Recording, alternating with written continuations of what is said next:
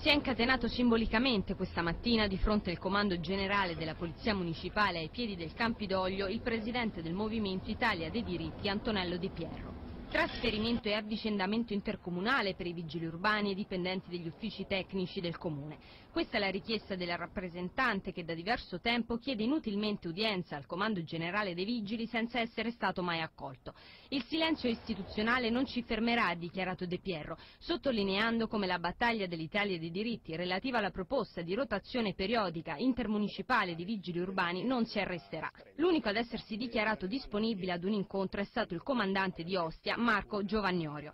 Portiamo avanti, ha continuato De Pierro, questa proposta alla luce delle troppe denunce, suggerendo poi come possibile soluzione l'alternanza del corpo interno alla Polizia Municipale ad ogni cambio di amministrazione capitolina e quindi ogni cinque anni, per evitare la possibilità che politiche clientelari possano diventare parte integrante del corpo municipale. È una proposta soprattutto che è mirata anche a salvaguardare eh, i vigili urbani che invece eh, il corpo stesso della Polizia Municipale glorioso corpo direi, eh, che in qualche modo eh, salvaguarda l'immagine anche da eventuali tentazioni di personaggi, cellule eh, magari deviate, magari poche però sicuramente ci sono, che possono in qualche modo compromettere l'immagine del corpo di polizia municipale. A sostegno della richiesta di De Pierro, oltre al responsabile dell'Italia dei diritti del decimo municipio Francesco Bartolozzi, anche il segretario romano dell'Italia dei Valori Roberto Soldà.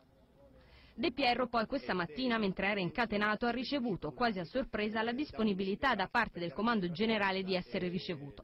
L'esito dell'incontro tra De Pierro e il vicecomandante Diego Porta ha avuto un esito positivo, segnando l'apertura di un dialogo tra le parti. Intanto lunedì scorso il responsabile del Movimento Italia dei Diritti aveva chiesto anche un incontro al sindaco di Roma e da oggi, mentre si attende la risposta dal Campidoglio, inizierà una raccolta firme per una petizione.